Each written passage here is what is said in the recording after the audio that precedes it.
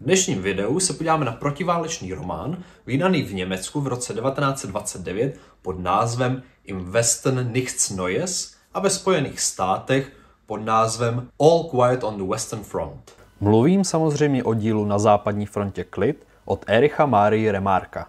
Ahoj, já jsem Francis a vítejte na online učiteli. Než se dostaneme k dílu, tak jako vždy si první představíme jeho autora. Tohle video je zároveň rozděleno do kapitol, takže můžete volně přeskakovat.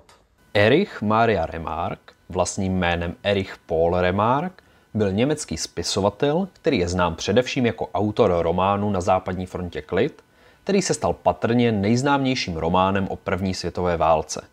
Remark byl v 18 letech odveden do německé armády a byl několikrát zraněn na frontě. Po válce pracoval jako automobilový závodník a sportovní novinář a zároveň pracoval na svém románu Na západní frontě klid. Remark napsal několik dalších románů, většinou pojednávajících o obětech politických otřesů v Evropě během první a druhé světové války. Některé z nich měly úspěch a byly sfilmovány, například Vítězný oblouk v roce 1946. Ale žádný nedosáhl takové prestiže jako jeho první kniha. Remark odešel z Německa do Švýcarska v roce 1932, jeho knihy byly v roce 1933 nacisty zakázány. Jeho nejznámější díla jsou, jak už jsem říkal, Na západní frontě klid, dále je to Cesta zpátky, Tři kamarádi, Vítězný oblouk a Čas žít a čas umírat. Vrhněme se na rozbor díla. Nacházíme se v moderní světové literatuře první poloviny 20. století. Literární druh díla je epika, literárním žánrem se jedná o román. Příběh vyprávěn chronologicky.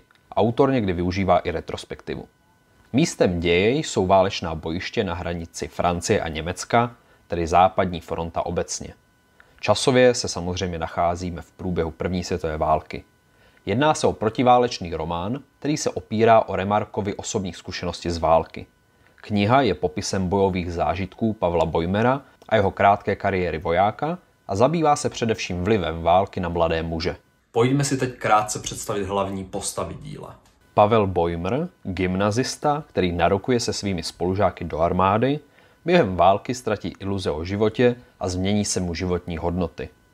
Albert Krop, Pavlův spolužák, odejde s ním na frontu, kvůli zranění se ocitá v klášteře a nakonec mu amputují nohu. Vzdává život. Stanislav Kačinský, Pavlův nejlepší přítel, naučí Pavla, jak se o sebe postarat. Himmelstoss, velitel výcviku, který chlapce nejdříve šikanuje, nakonec ovšem ukáže, že je to zbabilec. Kantorek je třídní učitel chlapců, který je přesvědčí, aby narukovali. Dále jsou to spolužáci Kemerich, Leer, Miller a Tiaden. Tak, konečně se dostáváme ke stručnému obsahu díla. Pokud byste mě chtěli jakkoliv podpořit, tak tak můžete udělat lajkem, odběrem anebo na mém Patreonu. Také jsem nedávno začal s YouTube Shorts, kde rozebírám mytologické příběhy a témata z oblasti práva. Po vypuknutí první světové války se Pavel Bojmer, hlavní postava knihy, rozhodne po nátlaku a propagandě svého okolí a svého učitele Kantorka přihlásit se svými kamarády jako dobrovolník na frontu. Počáteční nadšení se ale brzy vytratí. Pavel se svými kamarády nejprve prochází tvrdou průpravou a terorem pod vedením velitele Himmelštose. Výcvik trvá 10 týdnů a po něm kluci vyrážejí na frontu. Mladí chlapci si boj za rakouskou Hersko představují jako něco vznešeného. Ovšem již první boje na frontě všem otevřou oči a ukážou válku v pravém světle. Kemerich, jeden z Pavlových spolužáků, utrpěl zranění stehna, které vyústilo v amputaci nohy. Někteří z vojáků ho jdou navštívit do nemocnice svatého Josefa. Rychle si uvědomí, že Kemerich tam zemře. Konkrétně u Kemericha kniha ukazuje na přímý pragmatismus vojáků, kdy ho kamarádi s ním soucítí, ale zároveň ví, že už nebude potřebovat své dobré kožené boty a dohodnou se, kdo z nich je dostane. Pavel znovu navštíví Kemericha sám a během této návštěvy Kemerich umírá. Pavel volá o pomoc a lékař ho odkáže na sanitáře. Nikdo však žádnou pomoc neposkytne, protože personál má větší starosti s přípravou brzy prázdného lůžka pro nového pacienta.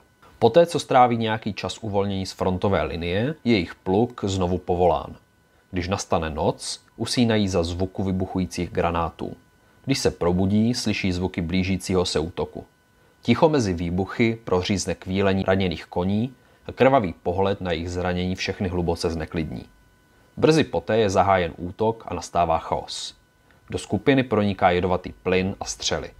Když boje konečně ustanou, je masakr hrůzný. Zákopy jsou v průběhu románu několikrát ostřelovány, až jsou nakonec vojáci posláni mimo službu, aby si odpočinuli a čekali na posily. Himmelstoss, který se nedávno poprvé objevil v zákopech, se velmi bojí. Skrývá se a snaží se se skupinkou lépe vycházet. Pavel se dozvídá, že mu bylo uděleno 17 dní dovolené. Doma zjišťuje, že jeho matka má rakovinu. Cítí se odloučen od lidí, kteří mu kdysi byli blízcí a nedokáže pochopit věci, které zaměstnávají jejich mysl. Po těžkém rozhovoru s vlastní matkou si Paul přeje, aby nikdy nepřijel domů. A věří, že se příliš změnil na to, aby mohl žít jako kdysi. Jednu noc na frontě se při bojích Pavel během bitvy ztratí a při úkrytu v díře po granátu probodne francouzského vojáka, který tam s ním spadne. Sleduje, jak muž umírá a zoufale se mu snaží pomoct. Podává mu vodu a obvazuje mu ránu, kterou mu sám způsobil. Když muž umírá, Pavel propadá hanbě. Náprsní kapce najde fotografii mužovi ženy a dítěte spolu s dopisy. Čeká v díře s mrtvým mužem hodiny, dokud nepocítí, že je dostatečně bezpečno, aby se vrátil do zákopu svého pluku. Když se Pavel vrátí, je spolu s Kačínským a šesti dalšími poslán do vesnice, aby pomohli evakuovat civilisty. Během evakuace však francouzi vesnici bombardují a Pavel a jeho přítel Albert Krop jsou zraněni. Albertovi amputována noha. Pavel se podrobí operaci a je poslán zpět do první linie. Pavlovi přátelé začínají jeden po druhém umírat. Kačinský je postřelen při hledání jídla a Pavel se rozhodne jej donést k polnímu lékaři. Když tam však dorazí, Kačinský je už mrtvý. Když jej Pavel nesl, tak Kačinský utrpěl ještě jeden zásah, a to střepinou do hlavy. Pavel se stává posledním přeživším ze svých spolužáků. Román se poté přesouvá z Pavlovy perspektivy a končí oznámením, že Pavel zemřel. V armádní zprávě vydané v den jeho smrti se uvádí pouze toto. Na západní frontě klid. Tak a mám pro vás ještě jednu zajímavost. Na západní frontě klid bylo v roce 2022 sfilmováno. Filmový zážitek je v některých okamžicích opravdu silný a cítíte z něj hrůzy velké války. Toto filmové zpracování můžu doporučit, ale upozorňuji, že je pouze pro silnější povahy. Jedním dechem musím také doplnit, že se nejedná úplně o ten případ, kdyby vám stačilo se podívat na film a plně byste obsáhli děj knížky. Proto film spíše doporučuji jako doplnění ke knize. Doufám, že se vám tohle video líbilo a dozvěděli jste se něco nového. Díky a uvidíme se u dalšího videa. thank you